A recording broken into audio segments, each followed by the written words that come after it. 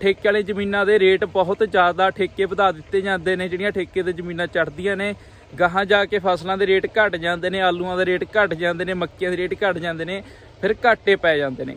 ਜਿਹੜਾ ਇਹ ਆਪਣਾ ਪਲਾਟ ਆ 2 ਕਿੱਲਿਆਂ ਦਾ ਇਹ ਇੱਕੇ ਘੇਰਾ ਕੰਪਿਊਟਰ ਕਿਰਾਏ 'ਚ ਵੱਜਿਆ ਹੋਇਆ ਤੇ ਆਪਾਂ ਇਹਦੇ ਵਿੱਚ ਦੋ ਵੀ ਬੀਜੇ ਨੇ। ਕੰਮ ਤਾਂ ਤੁਹਾਡਾ ਇੰਟਰਜਾਈਨ ਨੇ ਕਰ ਦੇਣਾ ਆ, ਹਨਾ? ਸਿਰਫ 250 ਰੁਪਏ ਵਾਲੀ ਨੇ, ਜਿਹੜਾ 1000 ਰੁਪਏ ਉਹ ਤੇ ਲਾ ਰਹੇ ਹੋ, ਉਹ ਕੀ ਕੰਮ ਕਰਕੇ ਦੇ ਗਿਆ ਤੇ ਇੱਕ ਤੀਜੀ ਸਪਰੇਅ ਮੈਂ ਹੋਰ ਦੱਸਦਾ, ਜਿਹੜੇ ਕਿ ਮੇਰੇ ਆਪਣੇ ਖੁਦ ਦੇ ਐਕਸਪੀਰੀਅੰਸ ਨੇ ਤੇ ਆਹ ਮੱਕੀ ਦੇ ਉੱਪਰ ਆਪਾਂ ਨੇ ਉਹ ਸਪਰੇਅ ਕਰੀ ਆ।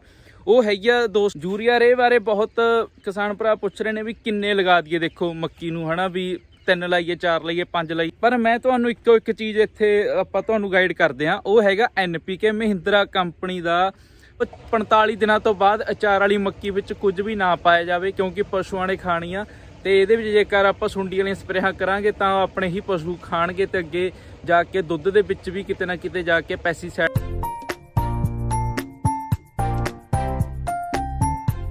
ਸਵਾਗਤ ਹੈ ਦੋਸਤੋ ਤੁਹਾਡਾ ਆਪਣੇ YouTube ਚੈਨਲ ਝੱਜ ਐਗਰੀਕਲਚਰ ਤੇ। ਦੋਸਤੋ, ਅੱਜ ਦੀ ਵੀਡੀਓ ਆਪਾਂ ਮੱਕੀ ਤੇ ਲੈ ਕੇ ਆਏ ਆ ਇਹ ਮੱਕੀ ਚਾਹੇ ਆਪਣੀ ਪਕਾਮੀ ਹੋਵੇ, ਚਾਹੇ ਅਚਾਰ ਵਾਲੀ ਹੋਵੇ, ਇਹਦੀ ਆਪਾਂ ਕਿਵੇਂ ਸਾਂਭ ਸੰਭਾਲ ਕਰਕੇ ਚੰਗੀ ਗਰੋ ਕਰ ਸਕਦੇ ਆ ਗਰੋਥ ਦੇ ਲਈ ਜਿੰਨੇ ਪ੍ਰੋਡਕਟ ਪੈਂਦੇ ਨੇ, ਉਹ ਸਾਰੇ ਆਪਾਂ ਅੱਜ ਦੀ ਵੀਡੀਓ ਦੇ ਵਿੱਚ ਤੁਹਾਨੂੰ ਦੱਸਾਂਗੇ।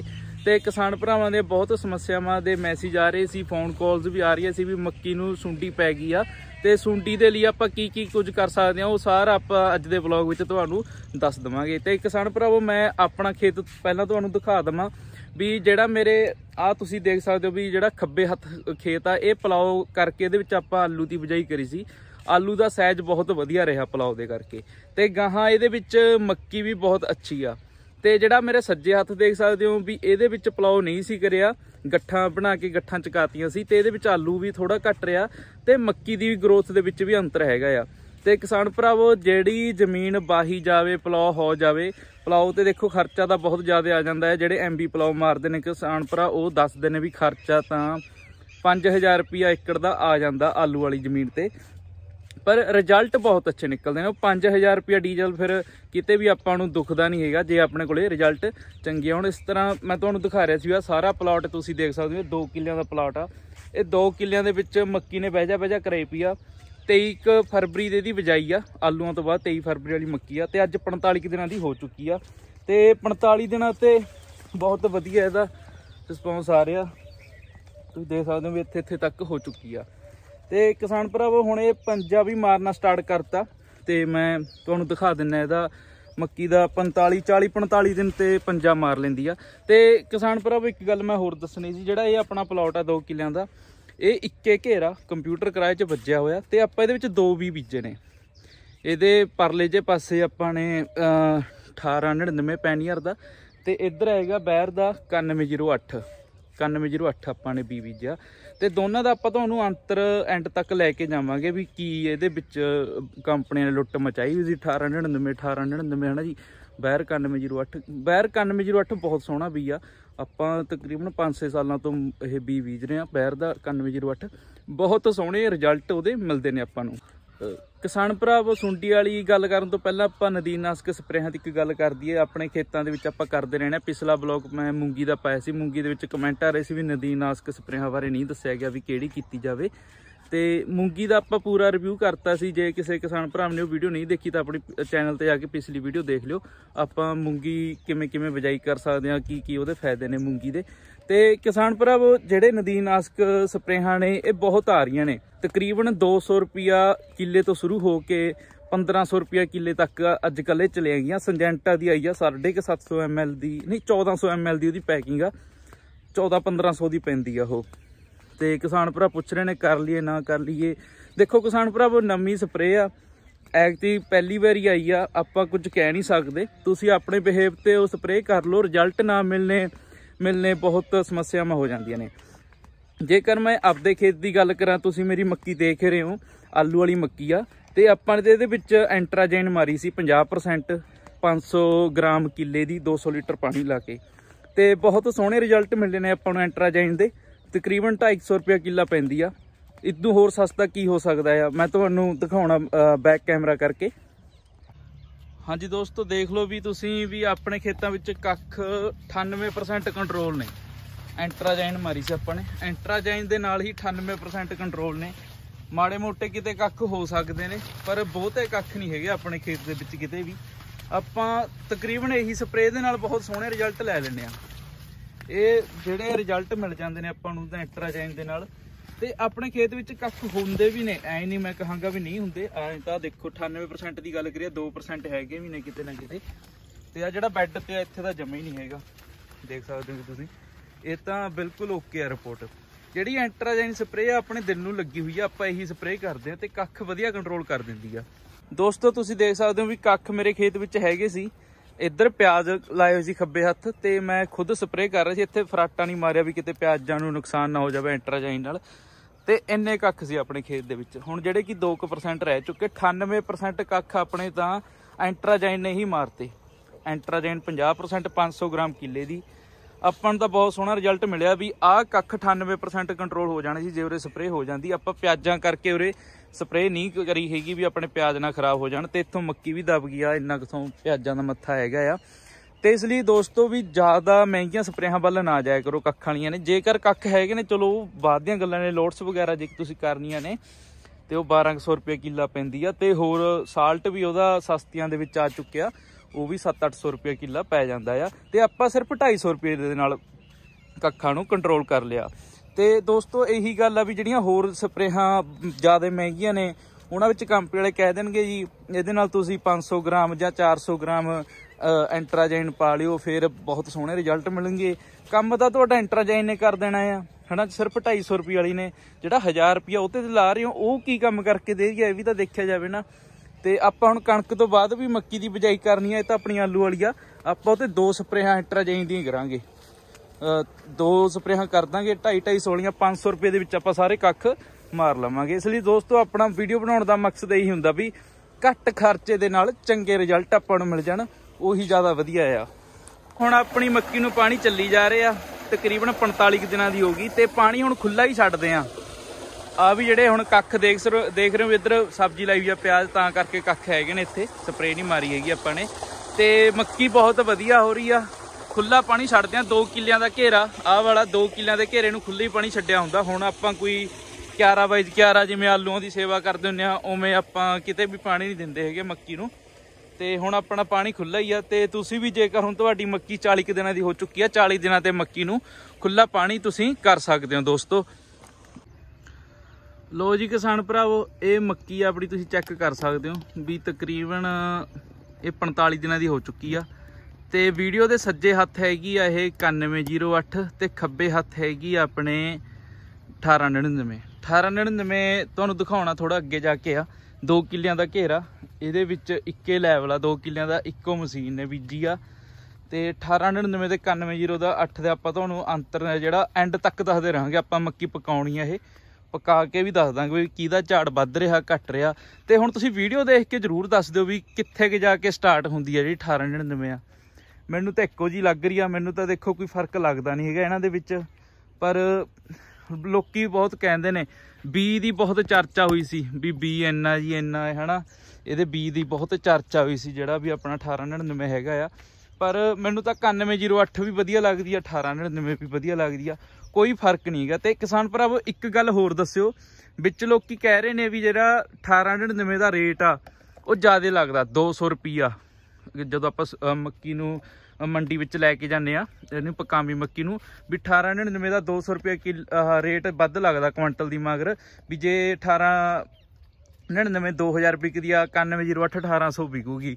ਤੇ ਇਹ ਕਮੈਂਟਾਂ ਵਿੱਚ ਜਰੂਰ ਦੱਸ ਦਿਓ ਵੀ ਇਹ ਗੱਲ ਸੱਚ ਆ, ਵੀ ਇਹਦਾ ਰੇਟ ਵਿੱਚ ਵੀ ਫ਼ਰਕ ਰਹੂਗਾ 1899 ਦਾ, ਜਿਵੇਂ ਕਿ ਝੋਨੇ ਦਾ ਹੁੰਦਾ ਹੈ 1509 ਤੇ 1847 ਦਾ ਰੇਟ ਘੱਟ ਲੱਗਦਾ ਆ। ਤੇ ਬਾਕੀ ਦੇਖੋ, ਹੁਣ ਆਪਾਂ ਨੂੰ ਪਕਾ ਕੇ ਮੰਡੀ 'ਚ ਜਾ ਕੇ ਪਤਾ ਲੱਗੂਗਾ। ਤੇ ਦੋਸਤੋ, ਹੁਣ ਆਪਾਂ ਗੱਲ ਕਰੀਏ ਤਾਂ ਸੁੰਡੀ ਵਾਲੀ ਸਪਰੇਅ ਦੀ ਵੀ ਸੁੰਡੀ ਮੱਕੀ ਨੂੰ ਪੈ ਰਹੀ ਆ, ਕਾਫੀ ਪੈ ਰਹੀ ਆ ਤੇ ਕਿਸਾਨ ਭਰਾਵਾਂ ਦੇ ਮੈਸੇਜ ਆ ਰਹੇ ਨੇ ਵੀ ਅਸੀਂ ਸੁੰਡੀ ਦੇ ਲਈ ਕੋਈ ਸਮੱਸਿਆਵਾਂ ਦੇ ਹੱਲ ਦੱਸੋ। ਦੇਖੋ ਕਿਸਾਨ ਭਰਾਵੋ, ਜਿਹੜੀ ਕਲੋਰੋ ਪਹਿਲਾਂ ਕਾਫੀ ਫੇਮਸ ਦਵਾਈ ਹੁੰਦੀ ਸੀ ਪਹਿਲੇ ਸਮਿਆਂ ਤੋਂ ਵੀ ਕਲੋਰੋ ਕਰ ਦੋ, ਜੇਕਰ ਮੱਕੀ ਨੂੰ ਸੁੰਡੀ ਪੈ ਰਹੀ ਆ। ਕਲੋਰੋ ਨੇ ਹੁਣ ਸੁੰਡੀ ਨਹੀਂ ਮਾਰਨੀ। ਹੁਣ ਜਿਹੜੀਆਂ ਅੱਜ ਕੱਲ ਸੁੰਡੀਆਂ ਹੋ ਗਈਆਂ, ਇਹ ਵੀ ਤਾਕੜੀਆਂ ਹੋ ਗਈਆਂ ਜਿੰਨੀ ਆਪਾਂ ਰੇਹਾਂ ਸਪਰੇਹਾਂ ਵੱਧ ਕਰੀ ਜਾਂਦੇ ਆ, ਇਹ ਵੀ ਮੌਸਮ ਬਦਲ ਕੇ ਉਨੀਆਂ ਹੀ ਸਟਰੋਂਗ ਹੋਈ ਜਾਂਦੀਆਂ ਨੇ। ਕਲੋਰੋ ਨੇ ਸੁੰਡੀ ਨਹੀਂ ਮਾਰਨੀ। ਜ਼ਿਆਦਾਤਰ ਜਿਹੜੀਆਂ ਫੇਮਸ ਦੀਆਂ ਦਵਾਈਆਂ ਨੇ, ਉਹ ਹੈਗੀਆਂ ਕੋਰਾਜਨ। ਕੋਰਾਜਨ ਦੇ ਨਾਲ ਤੁਹਾਡੀ ਸੁੰਡੀ ਮਰ ਸਕਦੀ ਆ, ਉਹਦਾ ਅਸਰ ਹੈਗਾ 15 ਤੋਂ 20 ਦਿਨ ਦਾ। ਤੇ ਉਹਦੀ ਜਿਹੜੀ ਡੋਜ਼ ਆ, ਉਹ ਹੈਗੀ ਆ ਵੈਸੇ 60 ml ਮੈਂ ਤੁਹਾਨੂੰ ਕਹਾਂਗਾ ਤੁਸੀਂ 70 75 80 ml ਤੱਕ ਵੀ ਪਾ ਲਓ। ਮੱਕੀ ਬਹੁਤ ਤਾਕੜੀ ਫਸਲ ਹੁੰਦੀ ਹੈ ਇਹਦੀ ਹਾਈਟ ਉੱਚੀ ਹੁੰਦੀ ਆ। ਇਹਦੇ ਵਿੱਚ ਤੁਸੀਂ ਜਿਹੜੀ ਸੁੰਡੀ ਵਾਲੀ ਦਵਾਈ ਆ, ਕੋਰਾਜਨ 80 ml ਤੱਕ ਵੀ ਪਾ ਕੇ ਸਪਰੇਅ ਕਰ ਸਕਦੇ ਹੋ।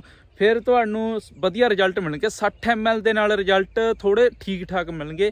ਜੇਕਰ ਤੁਸੀਂ origignal ਕੋਰਾਜਨ FMC ਕੰਪਨੀ ਦੀ 80 ml ਪਾ ਕੇ ਕਰਤੀ, ਤਾਂ 20 ਤੋਂ 25 ਦਿਨ 25 ਦਿਨ ਮੈਂ ਕਹਿ ਸਕਦਾ ਵੀ ਸੁੰਡੀ ਮੱਕੀ ਦੇ ਲਵੇ ਨਹੀਂ ਲੱਗਣੀ ਹੈਗੀ। ਬਹੁਤ ਸੋਹਣੇ ਰਿਜ਼ਲਟ ਮਿਲਦੇ ਨੇ, ਹੋਰ ਕੋਈ ਸਪਰੇਅ ਕਰਨ ਦੀ ਕੋਈ ਲੋੜ ਨਹੀਂ ਹੈਗੀ।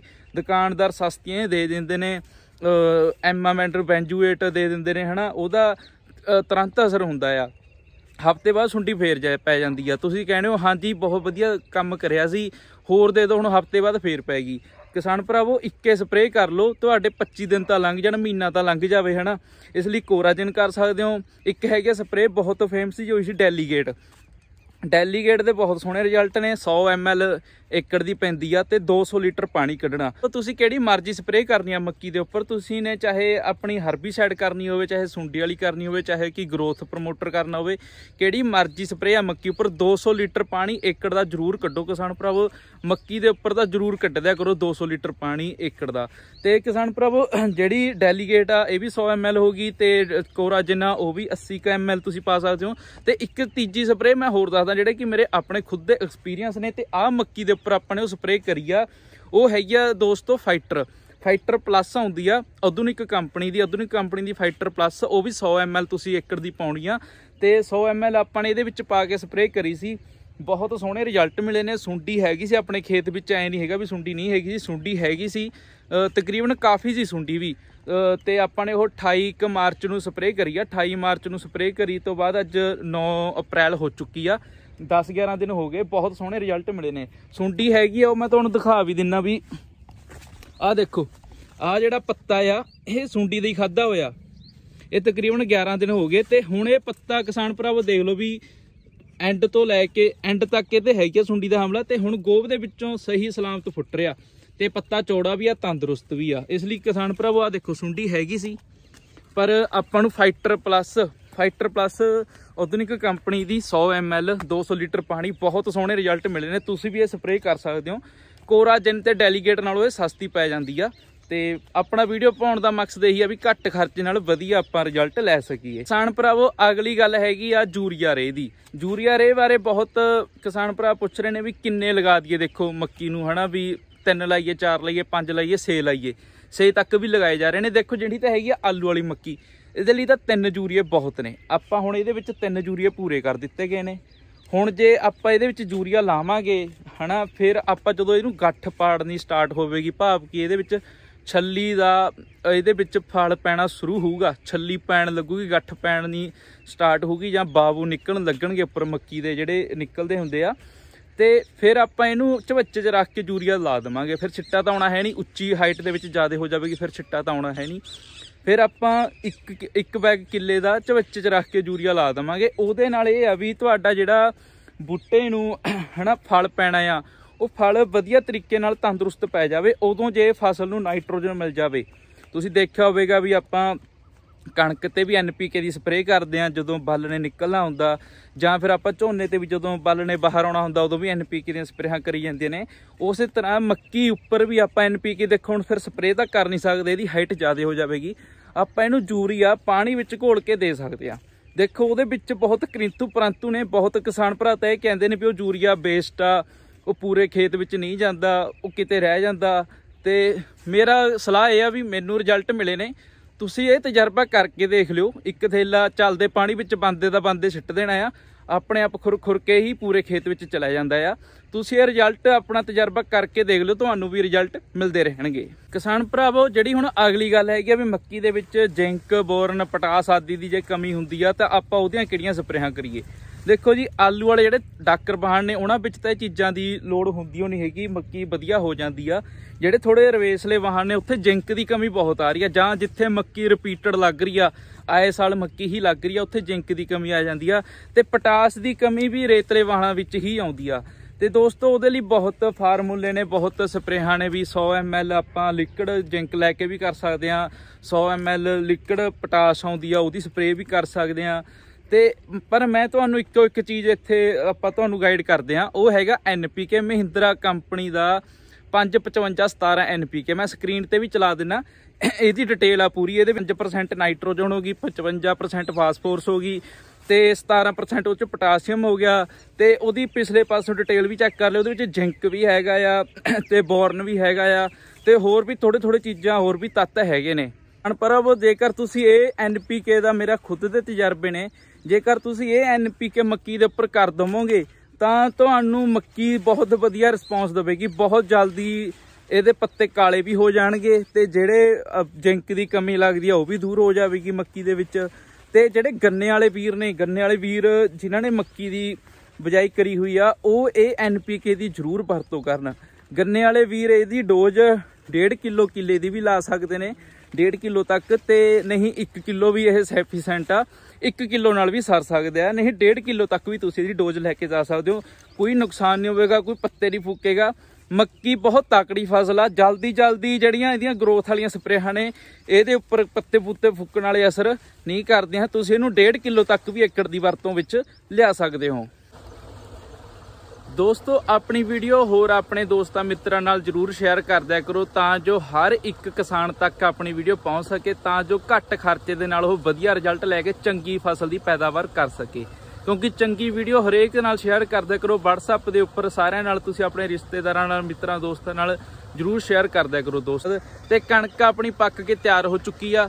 ਤੇ ਕਮੈਂਟਾਂ ਦੇ ਵਿੱਚ ਦੱਸਿਓ ਵੀ ਕਦੋਂ ਤੱਕ ਕਣਕ ਦੀ ਜਿਹੜੀ ਵਾਢੀ ਆ ਸਟਾਰਟ ਹੋ ਜਾਵੇਗੀ। ਅੱਜ 9 ਅਪ੍ਰੈਲ ਹੋ ਚੁੱਕੀ ਆ। ਤਕਰੀਬਨ ਪੰਜਾਬ ਦੇ ਵਿੱਚ ਕੰਪੈਨਾਂ ਚੱਲ ਵੀ ਚੁੱਕੀਆਂ ਨੇ। ਸਾਡਾ ਨਾਬੇ ਦਾ ਏਰੀਆ ਨਾਬੇ ਏਰੀਆ ਦੇ ਵਿੱਚ ਹਾਲੇ ਤੱਕ ਸ਼ੁਰੂ ਨਹੀਂ ਹੋਈਆਂ।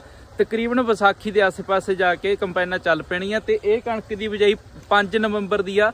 5 ਨਵੰਬਰ ਵਾਲੀ ਕਣਕ ਮੈਨੂੰ ਲੱਗਦਾ ਵੀ ਵਿਸਾਖੀ ਵਾਲੇ ਦਿਨ ਤਾਂ ਆ ਜਾਵੇਗੀ। 303 ਵੈਰਾਈਟੀ ਆ ਇਹ। ਤੇ ਕਣਕ ਇਸ ਵਾਰ ਬਹੁਤ ਸੋਹਣੀਆਂ ਨੇ। ਕਣਕਾਂ ਦਾ ਝਾੜ ਵੀ ਇਸ ਵਾਰ 25 ਕੁਇੰਟਲ ਏਕੜ ਦਾ ਜ਼ਰੂਰ ਨਿਕਲੇਗਾ। 25 ਕੁਇੰਟਲ ਤੱਕ ਜਾਣ ਦੀ ਆਸ ਹੈਗੀ ਆ ਤੇ ਬਾਕੀ ਦੇਖੋ ਪ੍ਰਮਾਤਮਾ ਦੇ ਹੱਥ ਡੋਰਾ ਨੇ, ਇਹ ਤਾਂ ਆਪਣੇ ਅੰਦਾਜ਼ੇ ਹੀ ਹੁੰਦੇ ਨੇ ਵੀ ਇੰਨਾ ਨਿਕਲਿਆ ਵੇ ਇੰਨਾ ਨਿਕਲਿਆ ਵੇ। ਤੇ ਉਮੀਦ ਕਰਦੇ ਆ ਸਾਰੇ ਦੋਸਤਾਂ ਦੀਆਂ ਕਣਕਾਂ ਬਹੁਤ ਵਧੀਆ ਹੋਣਗੀਆਂ। ਕਿਸਾਨ ਪ੍ਰਭ, ਇਸ ਤਰ੍ਹਾਂ ਜੇਕਰ ਤੁਹਾਡੇ ਖੇਤ ਵਿੱਚ ਸੁੰਡੀ ਹੈਗੀ ਆ, ਤੁਸੀਂ ਇਹ ਸਪਰੇਹਾਂ ਕਰਕੇ ਸੁੰਡੀ ਖਤਮ ਕਰ ਸਕਦੇ ਹੋ। ਜੇਕਰ ਤੁਸੀਂ ਪਕਾਮੀ ਮੱਕੀ ਵੱਲ ਜਾ ਰਹੇ ਹੋ, ਤਾਂ ਤੁਹਾਡੀ ਇੱਕ ਸਪਰੇਅ ਹੋਰ ਹੋਵੇਗੀ। ਉਹ ਸਪਰੇਅ ਤੁਹਾਡੀ ਤਕਰੀਬਨ ਅਪ੍ਰੈਲ ਦੇ ਅਖੀਰਲੇ ਹਫ਼ਤੇ ਜਾਂ ਮਈ ਦੇ ਪਹਿਲੇ ਹਫ਼ਤੇ ਜਾ ਕੇ ਹੋਵੇਗੀ। ਉਹ ਸਪਰੇਅ ਤੁਸੀਂ ਡੈਲੀਗੇਟ ਹੀ ਕਰਿਓ। ਡੈਲੀਗੇਟ ਦੇ ਬਹੁਤ ਅੱਛੇ ਰਿਜ਼ਲਟ ਨੇ, ਜੇਕਰ ਆਪਾਂ ਪਕਾਵੀ ਮੱਕੀ ਵੱਲ ਜਾ ਰਹੇ ਹਾਂ। ਤੇ ਜਿਹੜੀ ਫਾਈਟਰ ਪਲੱਸ ਆ, ਆਧੁਨਿਕ ਕੰਪਨੀ ਦੀ, ਇਹਦੇ ਵੀ ਬਹੁਤ ਸੋਹਣੇ ਰਿਜ਼ਲਟ ਨੇ। ਤੇ ਇਹ ਮੈਂ ਸਕਰੀਨ ਤੇ ਚਲਾ ਦਿੰਨਾ, ਤੁਸੀਂ ਇਹ ਜੇ ਤੁਹਾਨੂੰ ਕਿਤੋਂ ਮਿਲਦੀ ਹੈ, ਤੁਸੀਂ ਇਹ ਵੀ ਕਰ ਸਕਦੇ ਹੋ। ਤੇ ਕਿਸਾਨ ਭਰਾਵੋ, ਜੇਕਰ ਅਚਾਰ ਵਾਲੀ ਮੱਕੀ ਆ, ਤਾਂ ਦੁਬਾਰੇ ਸਪਰੇਅ ਕਰਨ ਦੀ ਲੋੜ ਨਹੀਂ। ਇੱਕ ਸਪਰੇਅ ਹੁਣ ਹੋ ਗਈ 40 ਕਿ ਦਿਨਾਂ ਤੇ 40 45 ਦਿਨਾਂ ਤੇ ਯੂਰੀਆ ਲੱਗ ਗਏ ਬਹੁਤ ਨੇ। ਤੇ ਕਿਸਾਨ ਭਰਾਵੋ 45 ਦਿਨਾਂ ਤੋਂ ਬਾਅਦ ਅਚਾਰ ਵਾਲੀ ਮੱਕੀ ਵਿੱਚ ਕੁਝ ਵੀ ਨਾ ਪਾਇਆ ਜਾਵੇ ਕਿਉਂਕਿ ਪਸ਼ੂਆਂ ਨੇ ਖਾਣੀ ਆ ਤੇ ਇਹਦੇ ਵਿੱਚ ਜੇਕਰ ਆਪਾਂ ਸੁੰਡੀ ਵਾਲੀਆਂ ਸਪਰੇਹਾਂ ਕਰਾਂਗੇ ਤਾਂ ਆਪਣੇ ਹੀ ਪਸ਼ੂ ਖਾਣਗੇ ਤੇ ਅੱਗੇ ਜਾ ਕੇ ਦੁੱਧ ਦੇ ਵਿੱਚ ਵੀ ਕਿਤੇ ਨਾ ਕਿਤੇ ਜਾ ਕੇ ਪੈਸਟੀਸਾਈਡ ਆਉਣਗੇ ਤੇ ਆਪਾਂ ਨੂੰ ਸਮੱਸਿਆਵਾਂ ਆਉਣਗੀਆਂ। ਇਸ ਲਈ ਕਿਸਾਨ ਭਰਾਵੋ, ਜਿਹੜਾ ਯੂਰੀਆ ਅਚਾਰ ਵਾਲੀ ਮੱਕੀ ਨੂੰ ਆ, ਉਹ ਤਕਰੀਬਨ ਤਕਰੀਬਨ 45 50 ਦਿਨਾਂ ਤੇ ਜਾ ਕੇ ਪੂਰਾ ਕਰ ਦੋ 45 ਦਿਨਾਂ ਤੋਂ ਬਾਅਦ ਕੋਈ ਵੀ ਮੱਕੀ ਨੂੰ ਯੂਰੀਆ ਜਾਂ ਸਪਰੇਅ ਨਾ ਕੀਤੀ ਜਾਵੇ 50 ਦਿਨਾਂ ਤੇ ਜਾ ਕੇ ਹੀ ਖਤਮ ਕਰ ਦਿੱਤਾ ਜਾਵੇ। ਤੇ ਕਿਸਾਨ ਭਰਾਵੋ, ਜਿਹੜੀ ਹੁਣ ਰਹੀ ਪਕਾਵੀ ਮੱਕੀ ਦੀ ਗੱਲ, ਇਹ ਤਕਰੀਬਨ ਜਿਹੜੀਆਂ 15 ਕ ਫਰਵਰੀ ਵਾਲੀਆਂ ਮੱਕੀਆਂ ਨੇ, ਆਲੂ ਵਾਲੀਆਂ ਮੱਕੀਆਂ ਨੇ ਜਾਂ ਗੰਨੇ ਵਾਲੀਆਂ ਮੱਕੀਆਂ ਨੇ, ਇਹ 15 ਜੂਨ ਨੂੰ ਜਾ ਕੇ ਪੱਕਣਗੀਆਂ 15 ਜੂਨ ਤੱਕ ਇਹਨਾਂ ਵਿੱਚ ਸੁੰਡੀ ਦੀ ਸਮੱਸਿਆ ਆ ਜਾਂਦੀ ਹੈ ਕਈ ਵਾਰੀ ਛੱਲੀਆਂ ਦੇ ਵਿੱਚ ਸੁੰਡੀਆਂ ਪੈ ਜਾਂਦੀਆਂ ਨੇ। ਤੇ ਉਹਨਾਂ ਸਮਿਆਂ ਦੇ ਵਿੱਚ ਸਪਰੇਅ ਕਰਨੀ ਬਹੁਤ ਜ਼ਰੂਰੀ ਆ, ਜੇਕਰ ਤੁਹਾਡੀ ਮੱਕੀ ਦੀ ਹਾਈਟ ਜ਼ਿਆਦਾ ਵੀ ਹੋਗੀ ਤਾਂ ਜਿਹੜੇ ਗੰਨੇ ਤੇ ਸਪੈਸ਼ਲ ਸਪਰੇਅ ਕਰਨ ਆਉਂਦੇ ਨੇ ਵੀਰ, ਉਹਨਾਂ ਤੋਂ ਤੁਸੀਂ ਸਪਰੇਅ ਕਰ ਸਕਦੇ ਹੋ ਜਾਂ ਆਪ ਖੁਦ ਵੀ ਵਿੱਚ ਵੜ ਕੇ ਮੱਕੀ ਦੇ ਉੱਪਰ ਸਪਰੇਅ ਤੁਸੀਂ ਕਿਵੇਂ ਨਾ ਕਿਵੇਂ ਤਰੀਕੇ ਨਾਲ ਕਰ ਸਕਦੇ ਹੋ, ਪਰ ਜ਼ਰੂਰ ਕਰਿਓ ਕਿਸਾਨ ਭਰਾਵੋ, ਸੁੰਡੀ ਤੋਂ ਬਚਾ ਲਿਓ। ਜੇਕਰ ਤੁਸੀਂ ਸੁੰਡੀ ਤੋਂ ਮੱਕੀ ਨੂੰ ਬਚਾ ਲਿਆ ਤਾਂ ਤੁਸੀਂ ਸਫਲ ਹੋ। ਕੀ ਹੁਣ ਰਹੀ ਗੱਲ ਅੱਗੇ ਜਾ ਕੇ ਆਪਣੇ ਰੇਟ ਦੀ। ਦੇਖੋ ਕਿਸਾਨ ਭਰਾਵੋ, ਅੱਜ ਦਾ ਜਿਹੜਾ ਮੱਕੀ ਦਾ ਰੇਟ ਆ 9 ਅਪ੍ਰੈਲ ਦਾ ਫੀਡ ਵਾਲੇ 2800 ਰੁਪਏ ਨੂੰ ਮੱਕੀ ਫੀਡ ਦੇ ਵਿੱਚ ਪਾ ਰਹੇ ਨੇ। ਤਕਰੀਬਨ 2600 ਰੁਪਏ ਪਕਾਮੀ ਮੱਕੀ ਆਪਾਂ ਨੂੰ ਮੰਡੀ ਦੇ ਵਿੱਚੋਂ ਮਿਲਦੀ ਆ। 2600 ਰੁਪਏ ਰੇਟ ਆ ਅੱਜ ਦੇ ਦਿਨ ਮੱਕੀ ਦਾ। ਤੇ ਮੱਕੀ 45 ਕੁਇੰਟਲ ਦੀ ਸੁਕਾ ਕੇ ਕਿੱਲੇ ਦੇ ਵਿੱਚੋਂ ਨਿਕਲੇ ਹੁੰਦਾ ਜਿਹਦਾ 2600 ਰੇਟ ਆ ਤਾਂ ਸਵਾ ਲੱਖ ਦੀ ਹੋਗੀ ਪਰ ਕਿਸਾਨ ਭਰਾਵੋ, ਤੁਹਾਡੀ ਇੰਨਾ ਰੇਟ ਤੁਹਾਨੂੰ ਨਹੀਂ ਮਿਲੇਗਾ। ਜੇਕਰ ਤੁਸੀਂ ਸੋਚਦੇ ਹੋ ਵੀ ਸਾਡੀ ਵੀ ਮੱਕੀ ਸਵਾ ਲੱਖ, ਡੇਢ ਲੱਖ ਤੱਕ ਚਲੀ ਜਾਵੇਗੀ। ਜਦੋਂ ਕਿਸਾਨ ਦੀ ਮੱਕੀ ਆਵੇਗੀ, ਫਸਲ ਆਵੇਗੀ, ਜੂਨ ਦੇ ਪਹਿਲੇ ਹਫ਼ਤੇ ਤੋਂ ਸਟਾਰਟ ਹੋ ਜਾਵੇਗੀ ਤਾਂ ਮੱਕੀ ਦਾ ਜਿਹੜਾ ਰੇਟ ਆ ਤਕਰੀਬਨ 1500 ਰਹਿ ਜਾਣਾ ਆ ਤੇ ਸੁਕਾ ਕੇ ਮੱਕੀ ਦਾ ਰੇਟ 1800 ਰਹਿ ਜਾਣਾ ਆ। ਸੁੱਕੀ ਮੱਕੀ ਦਾ ਰੇਟ 1800 ਹੋਵੇਗਾ ਤੇ ਗਿੱਲੀ ਮੱਕੀ ਦਾ ਰੇਟ 1500 ਹੋਵੇਗਾ ਤੇ ਟੁੱਟੀ ਫੁੱਟੀ ਮੱਕੀ ਦਾ ਰੇਟ 11 1200 ਰੁਪਏ ਕਿ- ਵੀ ਹੋ ਸਕਦਾ ਕੁਇੰਟਲ ਦਾ।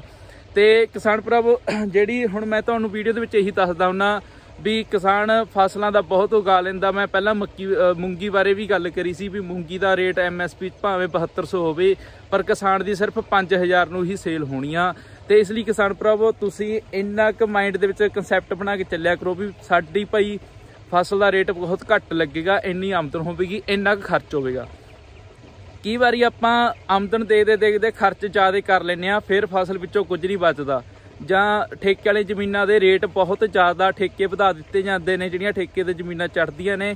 ਗਾਹਾਂ ਜਾ ਕੇ ਫਸਲਾਂ ਦੇ ਰੇਟ ਘਟ ਜਾਂਦੇ ਨੇ, ਆਲੂਆਂ ਦੇ ਰੇਟ ਘਟ ਜਾਂਦੇ ਨੇ, ਮੱਕੀਆਂ ਦੇ ਰੇਟ ਘਟ ਜਾਂਦੇ ਨੇ, ਫਿਰ ਘਾਟੇ ਪੈ ਜਾਂਦੇ ਨੇ। ਕਿਸਾਨ ਭਰਾਵੋ, ਉਹ ਘਾਟਿਆਂ ਨੂੰ ਹੁਣੇ ਸੋਚ ਕੇ ਚੱਲੋ। ਹੁਣ ਤੋਂ ਹੀ ਤੁਸੀਂ ਉਹਦਾ ਪਲੇਟਫਾਰਮ ਤੈਅ ਕਰੋ, ਜਦੋਂ ਕੋਈ ਫਸਲ ਦੀ ਬਿਜਾਈ ਕਰ ਰਹੇ ਹੋ ਵੀ ਇਹਦੀ ਭਾਈ ਕੀਮਤ ਮਾਰਕੀਟ ਦੇ ਵਿੱਚ ਜਦ ਨੂੰ ਮੇਰੀ ਫਸਲ ਆਉਣੀ ਆ, ਇੰਨੀ ਕੁ ਹੀ ਰਹਿ ਜਾਵੇਗੀ। ਘੱਟੋ ਘੱਟ ਲਾਇਆ ਕਰੋ, ਉਸ ਉਸ ਹਿਸਾਬ ਦੇ ਨਾਲ ਹੀ ਖਰਚੇ ਕਰਿਆ ਕਰੋ। ਤੇ ਕਿਸਾਨ ਭਰਾਵੋ, ਜੇਕਰ ਤੁਹਾਨੂੰ ਮੱਕੀ ਸੰਬੰਧੀ ਜਾਂ ਹੋਰ ਫਸਲਾਂ ਸੰਬੰਧੀ ਕੋਈ ਸਮੱਸਿਆਵਾਂ ਆ ਰਹੀਆਂ ਨੇ, ਮੈਂ ਇੱਥੇ WhatsApp ਨੰਬਰ ਮੈਂਸ਼ਨ ਕਰ ਰਿਹਾ। ਆਪਣੇ WhatsApp ਨੰਬਰ ਦੇ ਉੱਪਰ ਤੁਸੀਂ ਫਸਲ ਦੀ ਵੀਡੀਓ ਬਣਾ ਕੇ ਸੈਂਡ ਕਰ ਦਿਆ ਕਰੋ ਤੇ ਆਪਾਂ ਤੁਹਾਡਾ ਰਿਪਲਾਈ ਜ਼ਰੂਰ ਕਰਿਆ ਕਰਾਂਗੇ। 24 ਘੰਟੇ ਦੇ ਅੰਦਰ ਅੰਦਰ ਰਿਪਲਾਈ ਜ਼ਰੂਰ ਕਰਦੇ ਰਹਾਂਗੇ ਕਿਸਾਨ ਭਰਾਵੋ।